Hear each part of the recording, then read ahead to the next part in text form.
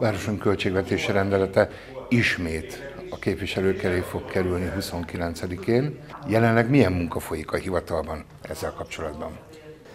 Hát eh, jelenleg az a munka folyik, amelyet vállaltunk, hogy lefolytatjuk az egyeztetéseket a egyes képviselőkkel.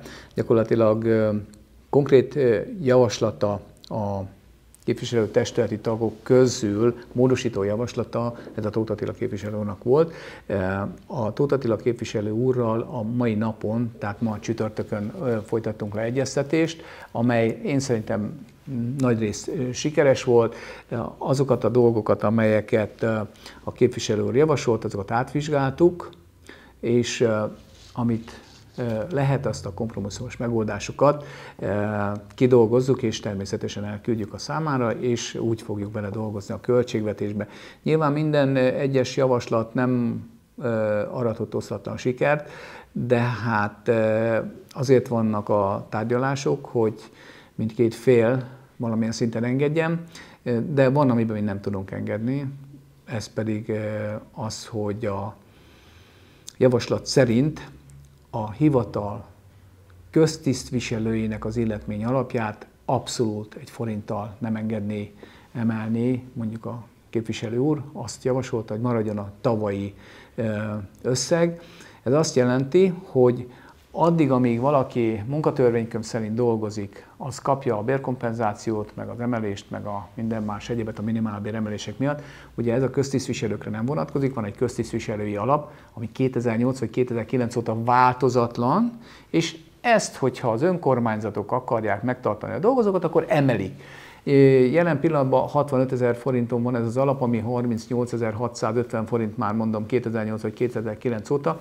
Ez folyamatosan emelkedett, mindig az infláció mértékében legalábbis mióta én vagyok itt a polgármester óta így próbáljuk megtenni. Most egy 15%-os emelést terveztünk, ami 10%-kal az infláció alatt van, és így emeltük volna most a fizetéseket. Ez az a javaslat érkezett, hogy ne emeljük.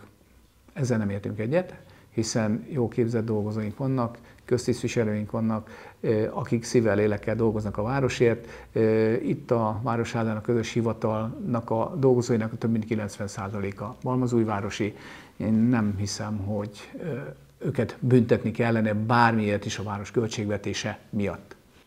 Körvonalazódik esetleg más témában az, hogy a vélemények közelednek egymáshoz? De természetesen ugye az egyik sláger téma ez a gázmotornak a megvalósítása. Gyakorlatilag erre az összes tartalékunkat most oda tesszük, hiszen azért fontos ennek a megvalósítása, hogy ne kelljen visszafizetnünk, hanem egy olyan termelő beruházást tudjunk megvalósítani, ami évek alatt nagyon sok energia megtakarítást eredményezi a városnak, azzal együtt, hogy nem kell kifizetnünk sem fűtésben, sem villamosenergia felhasználásban és erre most a tartalékainkat mozgósítottuk. Ezzel kapcsolatos volt a Tóth Attila képviselő javaslata is, hogy honnan mit tegyünk át céltartalékként a gázmotor projekt megvalósítására.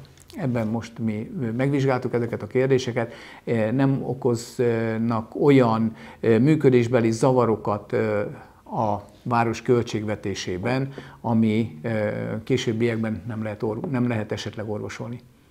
A legutóbbi javaslatokhoz képest, illetve ez ugye módosító javaslat volt, a céltartalékok külön számlára tétele. Ehhez a céltartalék tömeghez, ami a legutóbbi testületi ülésen elhangzott, érdemben még további összegeket sikerült találni a költségvetésben? Nem, hanem ennek a céltartaléknak az mintegy 100 millió forintnak a, a megteremtésén dolgoztunk, hogy ezt honnan és hogyan lehet a költségvetésben átcsoportosítani. Tehát ezt valósítottuk meg. Ugye a másik kikötés, hogy ne vegyem fel az önkormányzat hitelt, vegyük, vezessük ki a hitelfelvételi lehetőséget a költségvetésből, nem tudom, hogy ez mi a probléma egyébként, hogy hitelt vehet fel a város esetlegesen, hogyha mégiscsak a gázmotor projekt megvalósításához szükség lenne rá.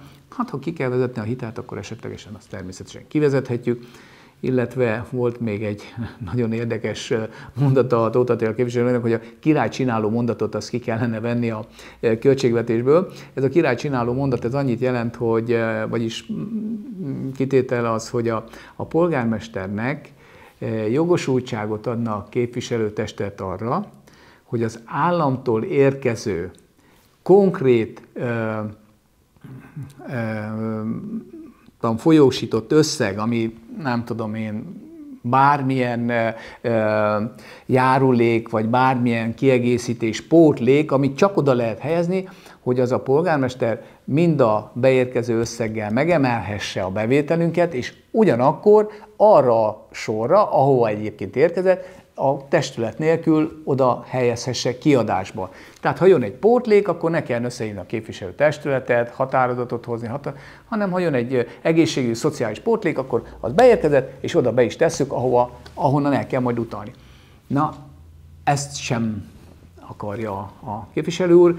Nem gondolom, hogy ez királycsináló mondat, esetlegesen csak a képviselő testületnek ezt a monoton munkáját csökkenteni, hiszen úgyis csak azt tudja mondani a képviselő testület is, hogy igen, egyetértek, az állam erre adta, erre kell ö, folyósítani.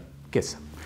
Tehát ebben is egyetértünk, hogy ne legyen akkor a polgármesternek királycsináló mondata.